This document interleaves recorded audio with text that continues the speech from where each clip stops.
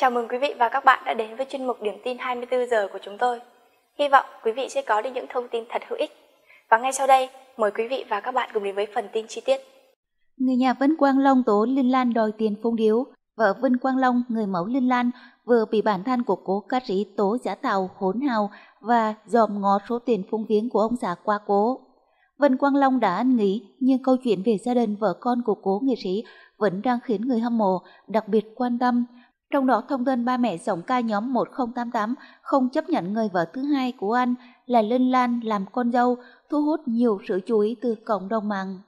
Mới đây, một người bạn cũng vừa lên tiếng tố vợ Vân Quang Long sống giả tạo, không biết điều, kèm theo toàn tin nhắn liên quan. Theo người này, bà xã kém tuổi của cố ca sĩ là Linh Lan nhiều lần hỗn hào chửi mắng ba mẹ chồng. Toàn bộ sự việc hay đấng sinh thành của cựu thành viên 1088 chia sẻ với báo chí đều là sự thật và không phải ngẫu nhiên hai ông bà cấm cửa con dâu thứ hai mà chỉ công nhận Ái Vinh, người vợ đầu tiên của Vân Quang Long là con dâu trong nhà. Theo thông tin từ người thân, toàn bộ số tiền phung điếu quyên góp bởi dàn sao khán giả hải ngoại trong đám tang Vân Quang Long tại Mỹ sẽ được gửi về cho ba mẹ và các con của anh. Thế nhưng, theo những chứng cứ của người tố, Lên Lan bày tỏ sự lo ngại ba mẹ chồng sẽ gửi lại toàn bộ số tiền mà không đưa một phần nào cho bé Helen, con gái của cô. Bản thân tiết lộ vợ Vân Quang Long không biết điều đến mức chồng vừa nằm xuống đã dòm ngó tiền phung viếng. Ngày ăn còn chưa đưa đến nhà quan, chính em đã lo gọi điện thoại cho anh em ở bên này. Anh ơi, tiền phung điếu đừng gửi về hết cho ba mẹ anh Long, vì như vậy Helen sẽ không có phần. Rồi ạ, à, chồng mắt còn chưa đâu vô đâu, em đã lo xí phần tiền phung điếu, chỉ nể em thật. Người tố cũng khẳng định gia đình sẽ có trách nhiệm nuôi nấng bé Helen, không để cháu nội phải chịu khổ. Lên Lan cũng bị tố đưa bằng chứng giả về việc từng khoe ba Vinh Quang Long về sự đám hỏi của mình, trong khi ông chỉ lên thăm con trai. Biết là em lo, nhưng Helen cũng chỉ là một đứa con nít, mà con nít thì không có tội, nên chắc chắn Helen sẽ được nuôi nấng đến khi đủ tuổi, chứ có ai bỏ bé đâu, mà em lo xa quá, nên dẫn đến việc em cho người nhà bót hình hồi xưa ba mà anh Long lên Sài Gòn thăm anh, rồi chụp hình em bảo hình đám hỏi. Hỏi cái khúc nào vậy em? Nếu mà có hỏi có dặm, chắc giờ Facebook tràn lan hình đám hỏi của em rồi, còn gì để mà nói lại em?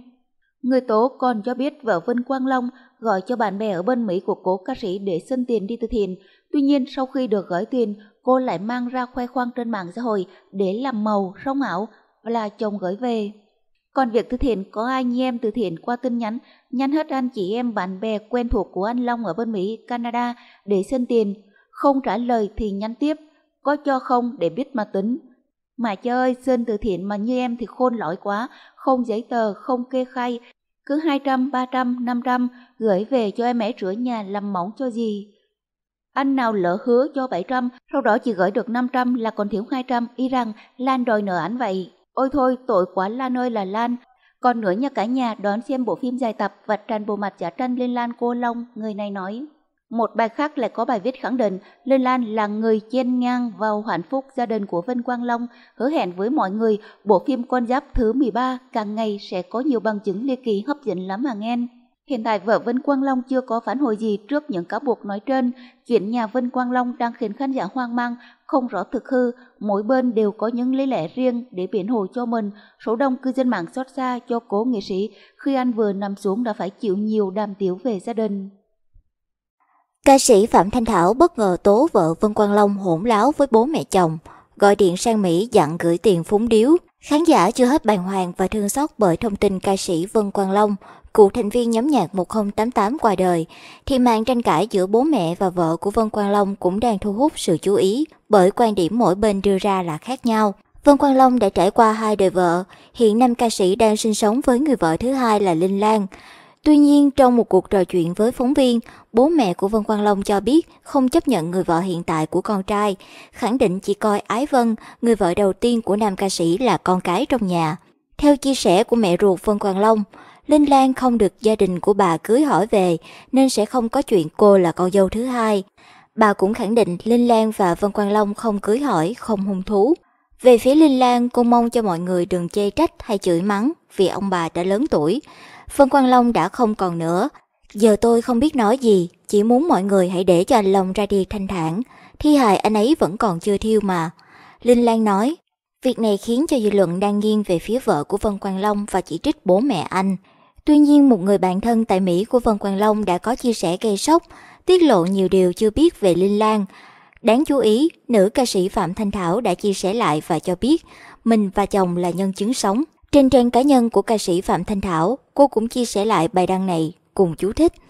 Tấm màn sự thật từ từ hé mở, sẽ còn nhiều thứ nhé mọi người ơi. Mình và ông xã là nhân chứng sống, không biết bao lần thấy Lan chửi, rồi đọc luôn những tin nhắn em ấy chửi ba mẹ Long rất nặng lời. Không muốn nói là rất. Hỏi sao những bậc nhà văn, nhà giáo như ba mẹ Long, trọng chữ lễ nghĩa, sao chấp nhận nổi một người như thế làm dâu. Càng nghĩ càng thương cho Long, càng nói càng xót cho Long. Nguyên văn bài bốc phốt linh lan như sau. Mọi người chung tay chia sẻ bài để cả nước biết được em Linh Lan như nào mà gia đình anh Long không chấp nhận.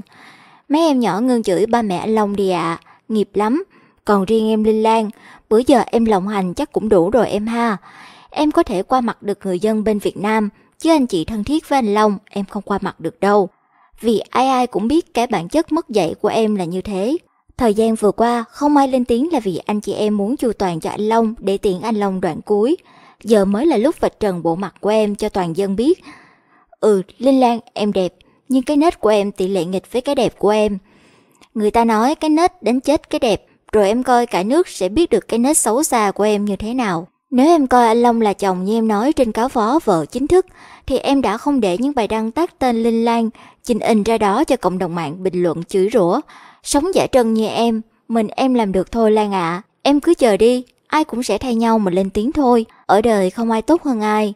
Không thấy độ giả trân của em chị phải ngưỡng mộ vì nó quá sức giả tạo. Ngày anh Long còn chưa được đến nhà quàng, chính em đã lo gọi điện thoại cho anh em bên này. Anh ơi, tiền phúng điếu đừng gửi hết về cho ba mẹ anh Long. Vì như vậy Helen sẽ không có phần. Trời ạ, chồng mất còn chưa đâu vào đâu. Em đã lo xí phần tiền phúng điếu, chị nể em thật. Biết em lo, nhưng Helen cũng là một đứa con nít, mà con nít thì không có tội nên chắc chắn Helen sẽ được nuôi nấng đến khi đủ tuổi, chứ chẳng ai bỏ bê đâu, mà em lo xa quá. Nên dẫn đến việc em cho người nhà post hình hồi xưa ba anh Long lên Sài Gòn thăm anh, rồi chụp hình em bảo hình đám hỏi. Hỏi cái khúc nào vậy em?